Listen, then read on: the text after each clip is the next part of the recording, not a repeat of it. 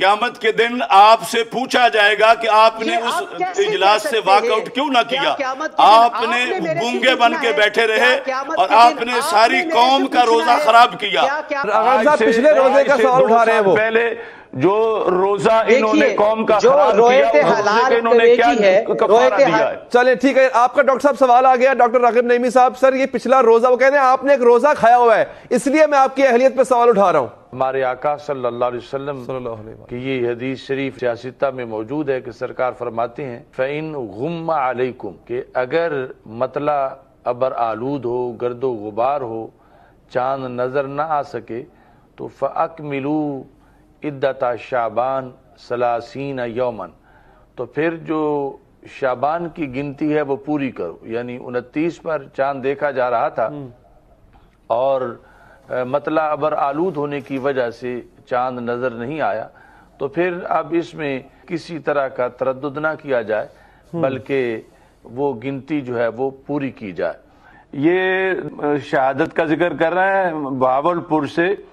तो हमने एन उसी वक्त बहावलपुर राबता किया था। जब अभी चाँद के देखने का वक्त था, उसके बाद भी वहाँ सबसे ऊँचा मीनार है मौलाना फैज अहमद ओवैसी साहब के मरकज का। वहाँ जो साहबजादा अयाज ओवैसी साहब हैं, उन्होंने हमें बताया कि हमने मीनार के ऊपर चढ़ के भी इस सारे इलाके में देखा है और यहाँ मतला अबर आलूद है, बारिश हो रही है और यहाँ किसी तरह यानी कोई इम्कान ही नहीं है चाँद नज़र आने का। तो जहाँ का खुद मतला अबर आलूद है ये वहाँ से एक गवाही दे रहे हैं।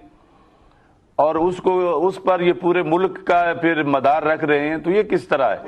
कि आप चाँद कह रहे कि नज़र आता वो capable नहीं है, मतला जो है वो उस वक्त अबर आलूद था। वो यानी मतला साफ़ नहीं था कि वहाँ सर वहाँ से ये जो इस्तेदलाल कर रहे हैं। और बाकी ये है कि ये लोग? एक रोजा पहले खराब कर चुके हैं पीछे ईद के मामले में। अब इन पर कौम कैसे एतमाद करे? इन लोगों ने दो साल पहले ईद का ऐलान जो है वो करके एक रोजा जो है वो लोगों का खराब किया, करोड़ों लोगों का। और उसके बाद इन्होंने ऐलान किया कि कजा कर लिया। जब ये बताएँ, वो किसने कजा किया था? वो सब इन्हीं लोगों के जिम्मे पर है। तो अपना ये किरदार तो ये मजरू खुद कर चुके हैं, ये तमाम अरकान जो हैं इस रुयत हलाल के। पहले तो आपने ये वो कफारे अदा करें और उसके बाद अपना किरदार अवाम के सामने और पेश करें और दलाल के सामने लाएँ।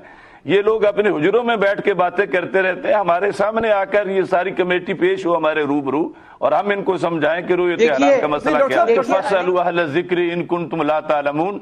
अगर तुम नहीं जानते तो अहल से पूछ सकते हो। क्या मैं ये देखता हूँ कि दीनी मामलात में ये बार बार गड़बड़ करते हैं?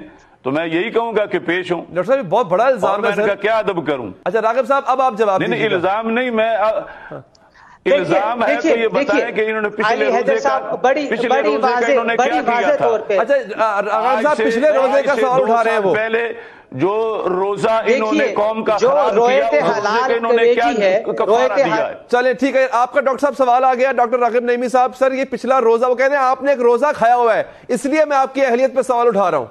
आपसे मुराद कमेटी ने। देखिए ज़ाहिर बात है मैं कमेटी की बात हो रही है ना मैं भी उस कमेटी को डिफेंड कर रहा हूँ। मैं कोई अपनी जाति कैपेसिटी के अंदर बात नहीं कर रहा। अगर ये बात सिर्फ़ मेरी जात के हवाले से हो रही है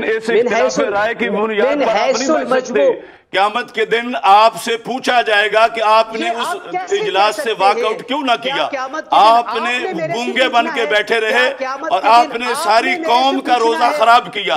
आपने सारी कौम का रोजा? खराब किया। अपना ओहदा बचाने के लिए अपना ओहदा बचाने के लिए आपने- चुप इख्तियार की और ये आपकी ये हम मजरूब समझते हैं आपको। आपने सिर्फ़ ओदा बचाने के लिए वहाँ चुप इख्तियार की और जहाँ ऐलान हो रहा था तो आप नहीं बोले। आपको बोलना चाहिए था मैं वहाँ पे मौजूद ही नहीं था। रहा मैं वहाँ पे मौजूद ही नहीं था। डॉक्टर अशरफ आसिफ जलाली साहब तो आप मौजूद अपने नहीं था तो इल्म में इजाफा कीजिए। मैं वहाँ पे तो मौजूद ही नहीं था। क्यों दिफा कर रहे हैं मैं वहाँ पे मौजूद ही नहीं था। तो आप मौजूद नहीं आप थे मेरे तो ऊपर ये बात भी कह रहे मौजूद नहीं हैं थे आप ये बात। क्यों रहे हैं? तो आप आप आप उनका दिफा क्यों कर रहे हैं? जिस कमेटी में आपकी हैसियत ही कोई नहीं तो आप उनका क्यों दिफा कर रहे हैं? आप पीछे हट जाए। अच्छा देखिए, ये देखिए ये हलाल होने की हैसियत से वैसे आप मौजूद प्रॉब्लम यह है कि कंफ्यूजन दूर नहीं हो सका। अभी भी कंफ्यूजन अब बाकी है। अलामा साहब मैं इंतहाई मशहूर हूँ सर आपने वक्त दिया। जलाली है साहब। ये नाअहल रुकन है। ये नाअहल रुकन है फिकी तौर पर।